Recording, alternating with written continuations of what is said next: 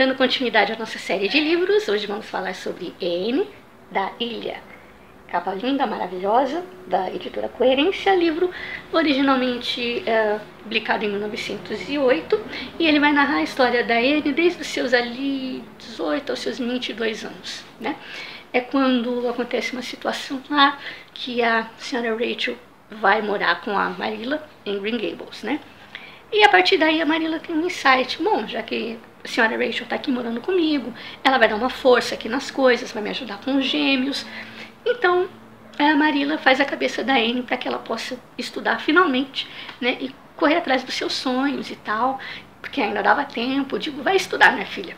E a Anne foi então para o colégio, foi fazer a sua faculdade.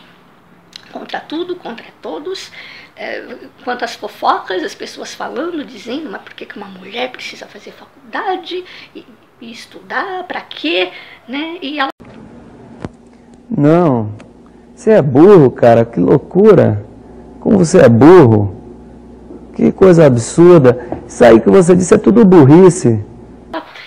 É muito bonito porque nesse livro ela se abre com o Gilbert a respeito disso, né? Qual seria o papel dela na sociedade, o que as pessoas esperam dela, afinal de contas, né? Mas ela não estava nem aí. Ela foi, correu atrás dos sonhos dela, daquilo que ela queria. Ela fez a faculdade, né? Ela era professora, mas o sonho dela sempre foi ser escritora. Então ela vai se formar ali como se fosse letras, né? E enquanto isso ela vai escrevendo, ela tem, tem, tem lá suas anotações, tem lá os seus escritos e tal, que ela sonha um dia em publicar. E ela só vai voltar para Green Gables realmente assim durante as férias, né? Nesse curso, enquanto ela vai para a faculdade, ela só volta durante as férias. E lá ela conheceu uma, uma amiga, Filipa, que é uma mulher muito bonita, né? Uma moça linda, da alta sociedade. Ela é muito popular, principalmente com os meninos, por ser muito bonita. Então ela meio que abriu assim um caminho social para ele, né? Para conhecer todo mundo e tudo mais. Essa é a Filipa. Então ela, é, a Filipa tem uma ideia de enquanto elas estiverem estudando, alugarem uma casa, não ficar numa pousada qualquer no campus, mas alugar uma casa realmente para que elas possam ficar ali. Tanto ela, a Anne, a Filipa teve uma ideia de chamar uma senhora, né, para de uma certa forma tomar conta delas, né? E e uma outra conhecida da Anne de Avonlea, que ela, a Anne se sente muito à vontade com ela, né, que é a Priscila, que ela já conhecia. Então, essas garotas né, alugaram uma casa, foram morar ali uh, enquanto elas estavam cursando ali a faculdade. O Gilbert, nesse meio tempo, ele, eles, eles ainda vão nutrir aquela amizade tão bonita, aquela coisa gostosa. Só que vai chegar um ponto que o Gilbert não vai aguentar mais, ele vai se declarar para Anne realmente, né?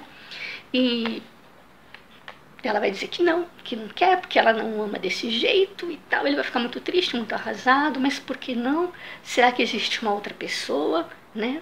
Eu, eu quero saber o que está acontecendo. Ela disse: não, não é ninguém, não é nenhuma outra pessoa.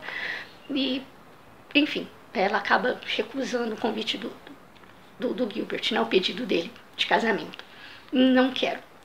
E o Gilbert fica muito chateado e não fala com ela nunca mais. Não conversam durante esse tempo todo, é muito tempo sem eles conversarem. Ela na faculdade ele não escreve nenhuma carta, ela também não. E fica por isso mesmo. Na faculdade ela recebe várias propostas de casamento. Ela encontra um, um rapaz, inclusive, todas furadas, todas muito engraçadas também. É hilário os pedidos de casamento que ela recebe, né? Ela diz, poxa, isso acontece comigo. Mas é muito engraçado. Até que ela encontra um, um rapaz que de repente acontece, né? É tudo que ela queria, tudo que ela idealizava, né, de, de homem para a vida dela. Tanto que ela quanto a, a Diana idealiz, idealizavam, né? Era um homem que, nossa, escrevia coisas maravilhosas, poesias para ela, o coração dela, né, pulava quando estava diante dele e tudo mais. E era aquela coisa. Todo mundo achava que, é, que que ele ia acabar pedindo ela em casamento. E ela também achava e ela também gostava dele, né, de uma certa forma. Nesse amor estrondoso, né, essa coisa assim, cada vez que ela lia uma, um soneto que ele dedicava a ela, ela se arrepiava e dizia, não, é, é esse homem dos meus sonhos que eu sonhei tanto, do jeito que eu queria, igualzinho, bigodinho, cabelo, jeito forte, tudo, tudo do jeito que eu queria. Então ela disse, é esse, certamente é esse que, que eu vou me casar e ele vai me pedir em casamento e tudo vai dar certo. Nisso, ela estava conversando com a Diana Barry e a Diana, né, a melhor amiga dela, tinha lá suas dúvidas com relação a isso. E a própria Diana, que também tinha idealizado com ela o cara ideal, se casou com um homem que também não era o ideal dela, não, mas ela se casou e ficou muito feliz com, com ele e tudo mais, né? E a Diana disse: Olha, você está perdendo tempo, né? Diana já estava noiva, é, logo ela vai ter um filhinho, né? E a Anne vai se sentindo velha, vai se sentindo assim, poxa, né? Eu perdi minha melhor amiga, porque agora acho que a gente não pode mais conversar de igual, né? Acho que porque os valores dela agora são outros e ela pode contar tudo pro marido, e não sei o quê. E, a Anne ficou meio assim com, com o pé atrás, mas mesmo assim a amizade delas continua muito forte. E mas não é o que, que, que, vai acontecer no final do livro, né? Esse relacionamento da Anne com esse, com esse rapaz. Ela vai é, não, não, vou dizer iludiu, ela, ela também estava iludida, ela também tinha certeza que ela amava esse homem, né? E ao contrário da, da nossa querida Filipa. Essa Filipa, que é uma moça que vai morar com elas, é, ela é muito divertida, né? E ela, assim, ela não consegue se decidir que ela tem, tem vários pretendentes, né? Ela gosta, assim, de, de, de, passear, de farrear, de curtir a vida, né? De eventos sociais, até porque ela é bonita. E ela gosta, ela curte isso, de ser bonita, de ser rica, que as pessoas olhem e admirem, que ela tem admiradores. Ela se acha, ela gosta disso, de ser assim, né? De ser, ela mesmo diz, fútil. Eu sei que eu sou fútil, eu sei disso, eu sei que eu sou assim, assim, assim, mas olha, é, é o meu jeito, né? Mas assim, na sinceridade, eu acho que na sinceridade dela, né? Ela não sabia qual dos pretendentes ela, ela amava. Então, assim, é muito divertido, é muito engraçado. Né? Ela não sabia o que ela queria da vida. Qual dos dois ia, dos dois pretendentes sérios que ela tinha, ela tinha certeza que eles iam pedir em casamento e ela queria, tá, já estava na cabeça dela escolhendo qual. Né? Até que ela conhece um ministro, né? um, um futuro pastor.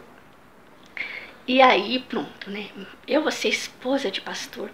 Aí, de repente, ela descobre que estava apaixonada por esse pastor. Aí ela diz assim: ah, e agora? Para eu me relacionar com ele, ela não queria. Não, não, não pode ser. Eu vou ter que mudar meu jeito, eu vou ter que mudar minhas roupas. Poxa, uma mulher de pastor tem que ser séria, né? É, tem que ter roupas é, discretas, simples, né? Não roupas caras, não roupas. É, né? Cheguei, mas tem que se vestir modestamente, né? Uma esposa de pastor tem que ter inúmeras habilidades. Eu não sei fritar um ovo, né? Uma mulher de pastor tem que fazer muita coisa. O que, que, eu, vou, que, que eu vou fazer? Vai ser muito difícil para mim me adaptar. Não vai dar certo. Olha, eu amo esse carinha, não sei porquê.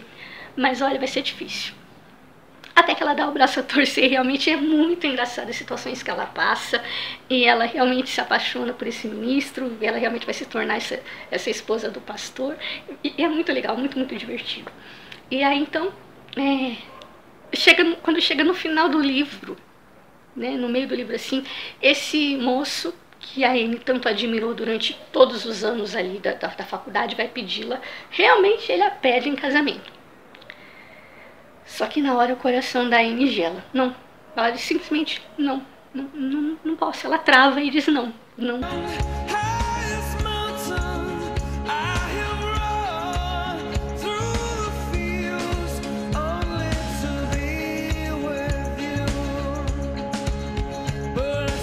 Não te amo desse jeito. Realmente ela descobre que não amava. E aí ela vai chorar com a Filipa. Felipe, eu não soube o que dizer. Eu congelei, eu simplesmente disse que não. E não tem como eu não amar esse cara. Poxa, ele é tudo, tudo de bom, ele é lindo, ele escreve poemas, ele tem, tem um porte, ele é rico. Rico não, mas sabe, ele tem posses. Poxa, como não amar esse homem? Como é, por que, que eu disse não para ele? Aí a Filipa disse: É, tá vendo? Você fala de mim, que, que, não, que sou indecisa, mas olha só, você ficou brincando com o cara esse tempo todo. Ela disse: Não, nunca, jamais isso passou pela minha cabeça. Eu não tava brincando com ele, eu só, eu, eu só me iludi, eu só achei que não era isso que eu queria.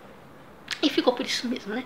E aí ela volta pra, pra Green Gables e aí, gente, é, é hilário as situações que tem aqui. Eu vou destacar algumas coisas que acontecem. Uh, por exemplo, né, a questão da, da da fé, né? Uma das coisas que a senhora Lind escreve para ela, quando ela assim que ela, assim que ela vai para a faculdade. Olha que bacana isso aqui. Ela diz: é, Anne, espero que esteja indo regularmente à igreja. As pessoas costumam se tornar ausentes da igreja quando estão longe de casa. E sei que alunos de faculdade são grandes pecadores nesse quesito. Me disseram que muitos deles de fato estudam aos domingos. Espero que você não afunde tanto, hein? Lembre-se de como foi criada. E tenha muito cuidado com os amigos que faz. Nunca se sabe que tipo de criaturas existem em faculdades. Elas podem ser lobos em pele de cordeiro. Olha que conselho mais lindo, mais atual da senhora Linde numa carta que ela escreve para ele. Olha aí, jovens.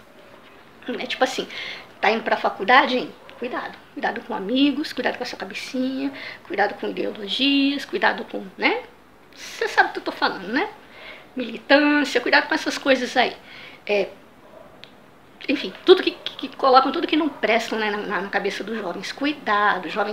Não ligue para ele, tesouro. Não se junte com essa gentalha. Sim, mamãe.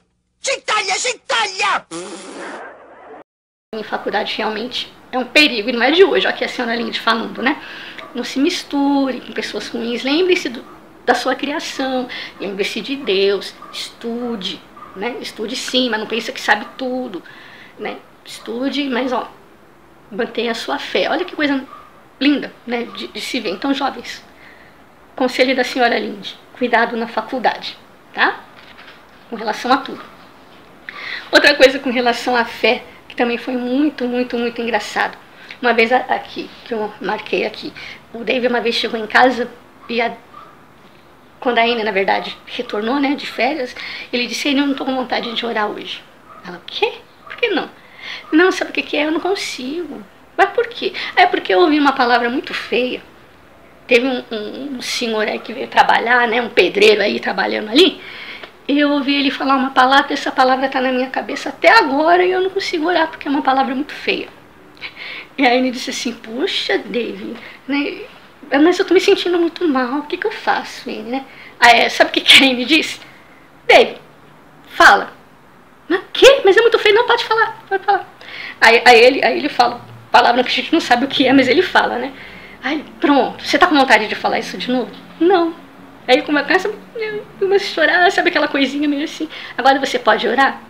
Agora sim, ele, eles oraram. Gente, é, é, muito, muito bonito, muito bonito. E, como sempre, né, o Dave cada vez mais aprendendo. Ele é uma. É, é, ele é fofinho, né? Ele é traquinas, mas é muito fofo. Aí, deixa eu ver o que mais acho aqui. Assim, um dos escritos da Anne, né? Olha o que acontece numa das histórias dela.